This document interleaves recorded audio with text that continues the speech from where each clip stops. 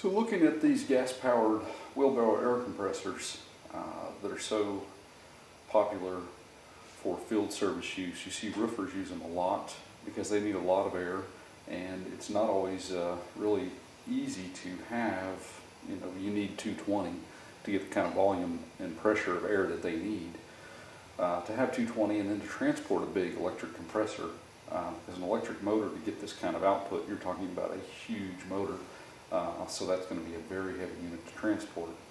Uh, farm use, these are great out in the field where you maybe don't have access to power.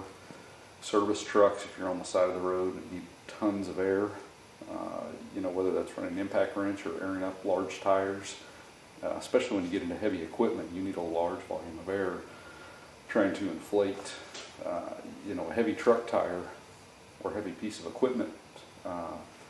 The volume there is totally different than a car tire. Uh, so this will be use case for these, and there doesn't seem to be a whole lot of info out there about them, uh, you know, about general operating procedures. So I just want to kind of cover some of the more common things you need to, to watch for, do, how to operate those types of things. So first thing, you've got a gas engine, whether it be a Honda or something else. You know, the Hondas are great engines. Uh, standard rules apply. Quality fuel in it. Uh, you know, a lot of these are rated for up to E10. That would be 10% ethanol. Uh, but if possible, stay away from that. Uh, if you're using it regularly and keeping that fuel run through, nowhere near as big an issue, but if it sits very long at all, you'll start to get rust uh, from the water condensation uh, that is so, so common with ethanol. So quality fuel is a big deal. Oil changes, uh, following temperature recommendations.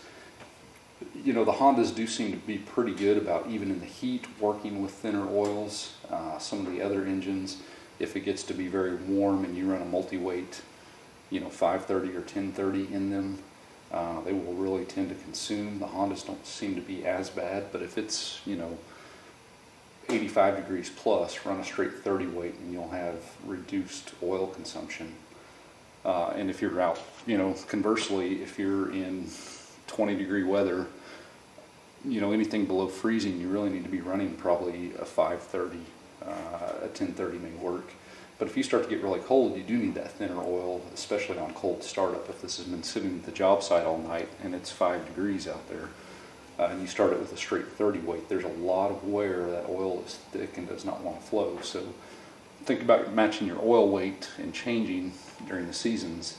Um, and that's also an easy way to remember to change the oil often, right? You're going to put a lot of hours on this. Most of them do not come with an hour meter But that's something you could add, you know, 20, 30 bucks. Uh, you could hook one up to give yourself an ideal, you know, an idea on maintenance schedule, uh, what you need to do there. The second thing to think about is you have oil in the compressor itself. And this is going to see a little rougher service life probably than most uh, household uh, type use. You know, it's going to be industrial use. So you need to change the oil here. Almost all of them have a drain port and a fill port when you pop this vent tube out. Anything on the sight glass is a sufficient amount of oil and you don't want to overfill really above the red dot. You can aim for center of the red dot, uh, but anything on the sight glass is good. These can, with lighter oil, you need to follow this kind of the same rules as you would for the engine. If it's sitting out in the cold, you don't want a thick, heavy oil. And the manuals generally cover this pretty well. Uh, you can go down to a 530 or you know you can run a straight 30 weight if it's warm outside uh, you can run a multi-weight you know 1040 or 1540 uh, if it's really warm but if it's really cold and it's been sitting out you know again five degree weather overnight and you start it up with straight 30 weight you're going to have some lubrication issues it warms up keep an eye on your oil level change it you know, relatively often if it starts to get discolored and change it based on weather conditions. So this will be your oil drain. Here's your sight glass. Remember, anything on the sight glass is sufficient and don't fill above the red dot. Uh, if you get overfull, you're really going to have issues with with pass out in operation. Uh, this vent on this model pops out and that's your fill hole for the oil when you pop that out. Make sure you get that seated back in there. This one actually has a double O-ring and the first one will snap in, but you need to get it all the way in or you can have some oil seepage out of there under operation. The next big thing that I see is the auto throttle uh, regulator portion. And this is actually pressure operated, not vacuum. So it's pressure out of the pump that determines throttle. This tube can come a little loose. These this is a push type connector that does cage and you can actually squeeze this in much like a uh, SharkBite type fitting or a fuel line type fitting out of the box you might check this or if there's been a lot of transport or if you're having trouble with it from the vibration shove that hose and make sure it's shoved in there all the way and then pull back on it until that lip comes out. Make sure we're tight in there. And that's on the pressure side here. So this would be the engine throttle side of that same tube and pressure's coming up and actually pushing your throttle lever uh, on the engine.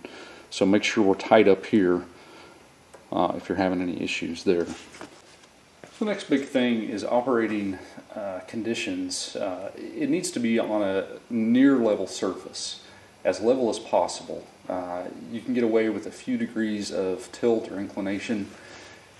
Engine manufacturers do publish this for each engine. Remember all these small engines, whether it's lawnmower or anything, until you get up to a large enough engine that it's got an oil filter, these do not actually have an oil pump. They've just got a little splasher in there. So if you get uneven, surface, uh, you'll get oil rolled off to one side and you'll, you won't get enough lubrication throughout the engine and that'll cause engine problems. Uh, remember this is probably going to be under full throttle load so if we're not getting lubrication we're going to get engine failure. And the same general rules then would also carry over to the compressor itself. Uh, it can end up oil starved if you're on a steep incline. So as level as possible, there's usually published in the manuals recommended maximums, and it's somewhere around 5 degrees uh, for these, and maybe around 15 when you get to an engine that has an actual oil pump. So you really need to keep these on a level surface when you run them. So here's this valve, and this is the bypass position here. So what that means, the compressor's turning and it's putting air in, but with that valve open, it's actually letting that air vent out right there now it holds, continues to hold the pressure that's already in the tank, but the pump itself is not seeing that restriction, that resistance, so we're not putting that load on the engine. And we can see here that we're somewhere around 75 pounds in this tank. So if I cold start this engine and have it in pressure mode, and we just heard the throttle, that pressured the throttle regulator, this is going to rev up to full RPM and be under full load when it's cold. We want to give it you know, just a minute or two to warm up, you know, especially depending if it's five degrees outside, you probably need a five minute warm up. The same thing will apply on shutdown, and we'll see this when I actually take it out and run it here. But you wouldn't pull in in your car and immediately shut off the engine from full throttle. Um, you wouldn't come in yourself to the house after a hard day's work and just go straight to bed without taking some wind down time. So you really want this engine to return to idle before you cut it off. Uh, it's much worse with a carbureted engine, like all these small engines. Uh, you can have backfire, extra fuel flow that gets into the cylinders, and, and over time really shorten the life, uh, besides making it harder to restart. So if we're operating here and we're, we're done for the day and we're ready to shut this down or we're going to lunch break or whatever and we're done with it and we don't want to leave it idling, because uh, remember when it builds pressure it's going to return itself to idle. Before you shut it down, open the bypass valve, let it come back down to idle, uh, you know, give it a minute or two to cool down, then go flip the, the shut-off lever. Now, as with any compressor, you're going to get water condensation just from the atmospheric air. Remember, all this is doing is taking air from the outside and compressing it and putting it in these tanks. So any humidity uh, is going to end up in the tanks. And if you're running a spray gun, you're probably going to run a filter on it, a water separator. Uh, for a nail gun, not going to be a big issue. Now, if it's misting outside, you can get a whole lot. But if you run this all day, uh, even in relatively dry air, you're going to have some condensation in here. So there's a drain on each of these two tanks. They are cross-connected, uh, so air will flow between them. but any water in here is probably going to settle out. So you want to drain them both. Uh, if you're using this heavy, really draining it every day might be a good idea. Uh, if it sits for a week and you left pressure on it, before you go to start it, go ahead and drain them. Uh, more often is better, but how often you must do it or actually should is going to vary a lot depending on hours of use, you know, total amount of air moved and the humidity and temperature. Up underneath here, we can see here's a drain valve for this side, and here's a drain valve for this side. Now, right now, we're under about 75 pounds of pressure, so we don't want to crank this full open and have all that pressure escape. So you're just going to ease the valve open. And, you know, it, it's going to be loud depending on how much pressure you've got. So how far you open it initially depends on your tolerance for noise level. Uh, you don't have to go full open though. Then when the pressure has dropped down quite a bit and there's not a whole lot of pressure left, you can come back and open it all the way uh, because you really want it full open for any water to drip out.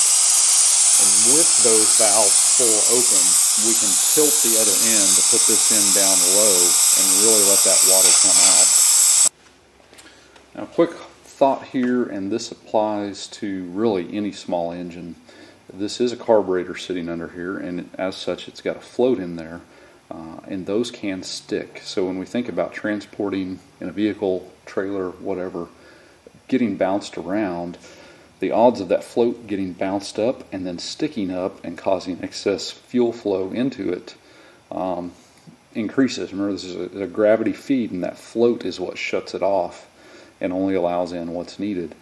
So there's a fuel shutoff valve on almost all modern small engines. If you're going to transport it, go ahead and close the valve. And if that float were to get banged around, you're not going to get excess fuel flow uh, build up in the carburetor. So what'll happen if that if that does occur and you've got the valve open, is you'll end up with excess gas into the engine, into the cylinder. And when you go to start it at the job site, it's going to be very tough to start. It's going to be completely flooded.